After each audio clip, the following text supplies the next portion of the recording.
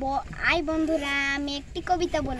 কবিতাটির নাম বড় কে লিখেছেন হরিশ্চন্দ্র মিত্র। আপনাকে বড় বলে বড় সে নয় লোকে যারে বড় বলে বড় সে হয়। বড় হওয়া সংসারিতে কঠিন ব্যাপার সংসারে সে বড় হয় বড় গুণ যার। গুণেতে হইলে বড় বড় বলে সবে বড় যদি হতে চাও ছোট হও তবে। Bye bye.